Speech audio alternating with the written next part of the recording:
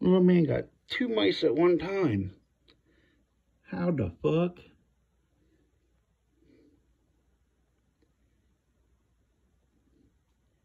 He must be hungry.